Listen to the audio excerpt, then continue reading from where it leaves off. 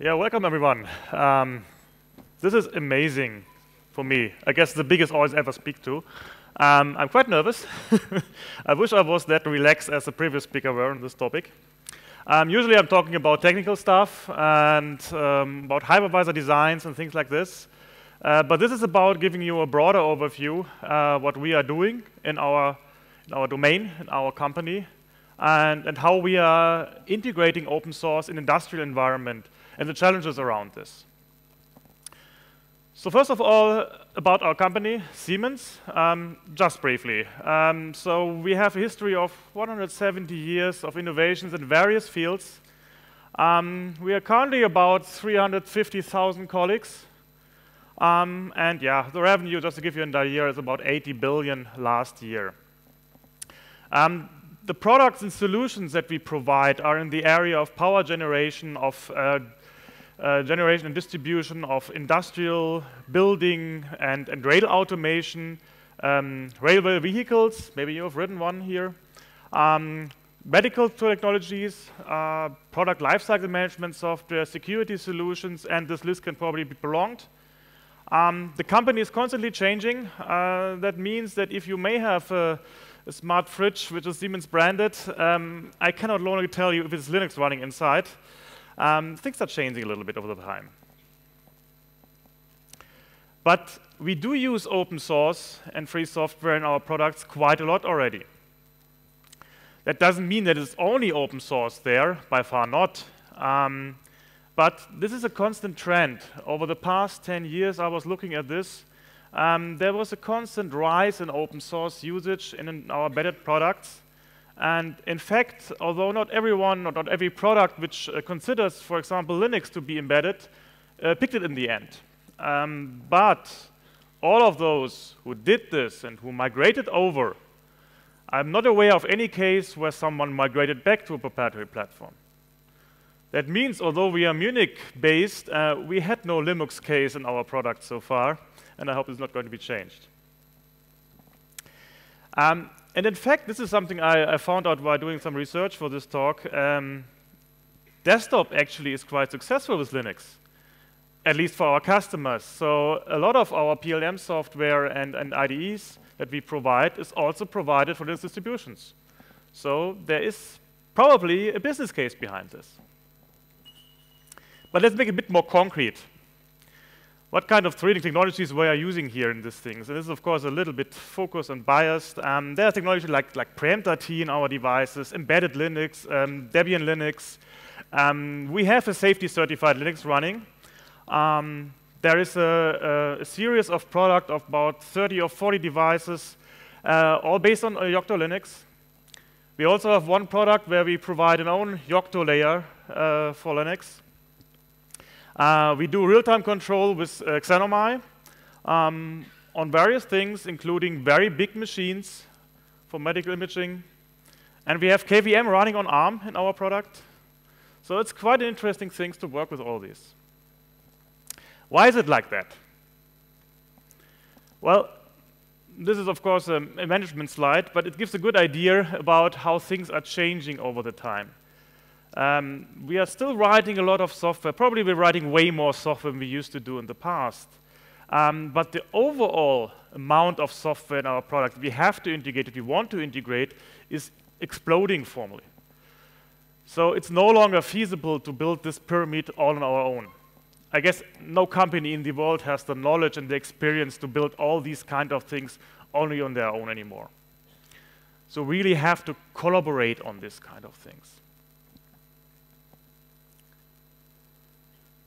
Another very important aspect for our business um, is the long life of our products. So many of the devices that we ship live at least for 10 years, some even longer. They're integrated in, um, in a lot of facilities which have a lifetime of maybe 50 years or more. So, and unlike a, a smartphone, for example, um, you don't replace an embedded device in a, in a a magnetic resonance uh, imaging system or in a high-speed train or in a production plant every two to four years. You keep it very much longer. And um, furthermore, if you replace it, our customer expects it's going to be compatible what we put into this. Actually, this is the key element in many of our businesses. And open source enables this. It helps a lot in this regard. It's a major foundation for our products. And it uh, comes with a high assurance that we can still embed it in the same form in a couple of years ahead. The availability of this software makes it really interesting for us. And it also comes, when chosen wisely, without vendor lock-ins. That, of course, sometimes also raises the interesting question when colleagues come around and say, oh, can we use this kind of software, say, uh, systemd, or let's say Docker in our products already? Is it ready to be used already and be used in the same way in 10 years from now? These kinds of questions have to be answered then.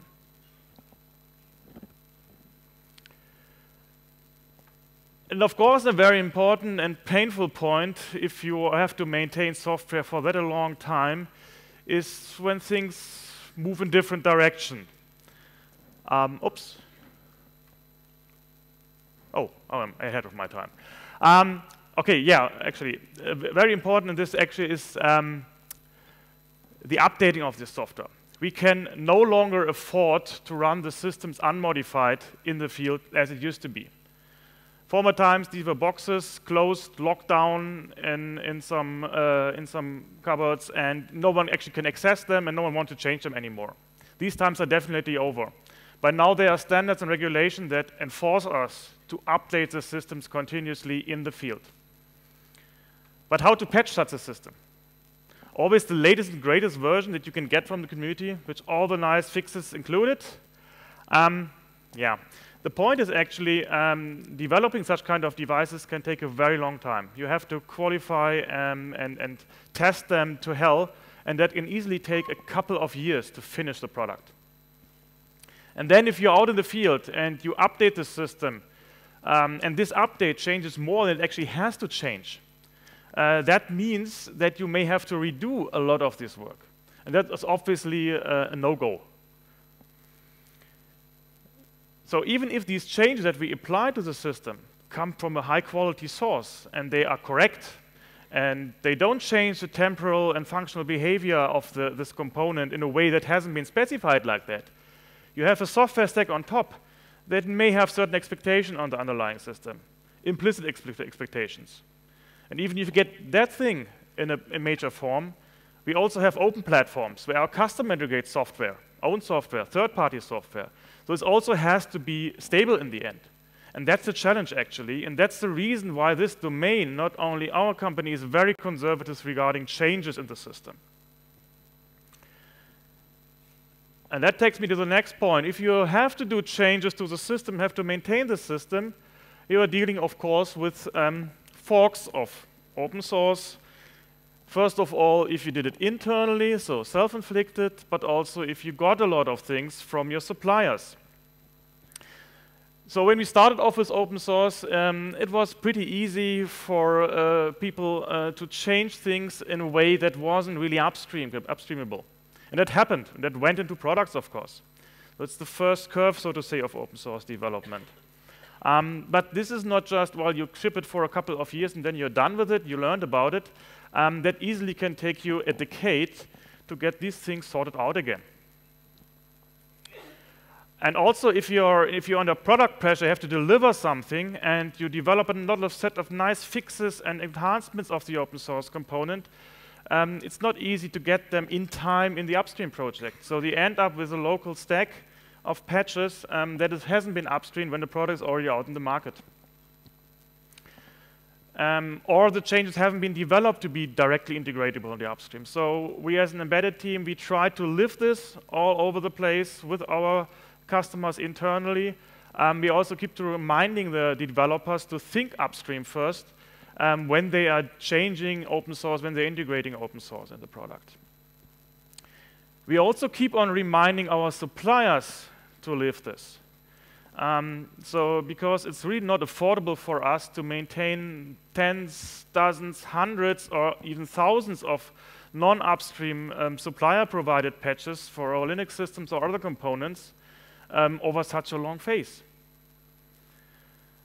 So it's all about upstream first. So this is the message to our suppliers, but it should also be a message to other companies in this domain, to their suppliers, which are probably the same one that we have.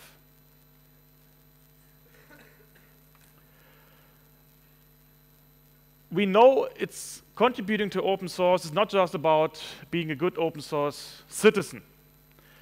It's also about extending your corporate knowledge um, how to integrate all these open source components properly into your products. It's furthermore about motivating and keeping the talents in your company loyal to you in these times where moving around becomes pretty flexible for the people. By now, it's actually also a way for us to communicate with our suppliers. It's way easier if you have an open source software to show them and say, look, these are the problems we have. Could you fix that? or even collect requirements from your customers like we are doing with one of our products. But how to get there after, well, decades inside the cathedral? That's not easy. So just one example. A couple of years ago, a colleague approached me. Um, look, I have a bug here in GCC. Um, this is description. Here's the test case to reproduce it. Can you help me? And I said, well, I'm not really a GCC expert. Open a ticket upstream and, and uh, report it. That's probably the way to go. And he said, yeah, but I'm not allowed to publish a single line of source code. Even that test case falls under it. So, okay, I did it. Uh, we at CT had the proper processes in place at that time. The good news is, by now, the very same unit is a well-recognized contributor to Coreboot. And the product they are making, the board support, is maintained upstream in Coreboot. So times are changing, not in all parts at the same pace, uh, but we are moving forward. Um, so just one source, check our GitHub landing page for Siemens. There are a lot of interesting projects around there. Maybe you find something useful. The next logical step, and you may have heard about this in the past days before in the presentation, is uh, creating a cross-industry collaboration project of your own. And we are happy to have achieved this last year together with, um, with Hitachi, with Toshiba, Codethink, and Plat'Home, not to uh, forget about the recent joining of, of Renesas to this project. So the Civil Infrastructure Platform Project, Linux Foundation Collaboration Project, is in a nutshell a community of companies that want to build um, an industrial-grade, long-living base system for these kind of devices that we are building. Um, it's a collaborative effort where we don't want to replicate existing efforts. We rather want to collaborate, augment, and fill gaps where they are, and, and make the whole thing better, work better in the long run. So we are working together with the kernel community, of course, uh, with Debian, um, also with other collaboration projects like Automotive Grade Linux and more. And then you may have seen some branding changes recently of a well-known company, Mentor Graphics. So Mentor is now part of Siemens business, and we are very welcome, uh, very happy to welcome a lot of new colleagues on board. It's a great chance to augment our experience and capabilities in embedded, um, op uh, embedded uh, open source software services and solutions. So over the past months, the Linux-oriented groups of both companies came together, and we tried to identify where we have common grounds, where we have um, also things to uh, benefit from each other, technologies, uh, experiences, and developments going on in different ways. So we are looking forward to deepen this over the first uh, upcoming uh, months. And one of the results already is, is um, Mentor is participating now in the CIP project. So stay tuned for more. Uh, last but not least, um, license compliance. And probably quite a few of my colleagues would now run screaming out of the room because of this topic. Um, but this is a very important one. So first of all, we are now an open source software producer. And we, we understand the importance of license compliance from our own perspective. So for example, we chose a copyleft license for our Jailhouse hypervisor when we published it. But primarily, we are an open source consumer, and we are an open source redistributor. And that means um, we have to take license compliance seriously. I mean, very seriously. In the day of some first copyright McTroll, is no longer the time to take it sloppily. And for us, it's very important to invest in this topic to make it um, simpler for us as a user, but also for the others to be compliant. Um, so we are investing, for example, in these tools um, FOSSology as a uh, tool to do license analysis on software, and uh, SW360, which is a tool to do a license, um, a software um, software library, basically a bill of material for your software-based product. Um, we are supporting this project. We're actually maintaining some of them. The colleagues of them are around here. Um, and we would like to foster this in industry. We're also participating in the OpenChain activity. Um, we are supporting the OSADL um, license, OSS license compliance checklist. Um, SPDX format we are supporting as well. And we like to see more collaboration on this between the users, sharing the analysis results that quite a few of you probably also generating, exchanging the findings, coming to a common conclusion on the, on the results, and specifically reporting these results back to the source of it. And that's the, the open source project distributions. Because eventually we really want to rely on these results being accurate for us to reflect the whole license situation and be machine readable that we can automatically generate basically the obligation that we have to fulfill. That's the vision behind it, and that would help a lot of us um, to make things easier here. So with this, I would like to close my talk. Um, thank you a lot for your attention. Uh, if you have further questions, visit us at our CIP booth on the top level.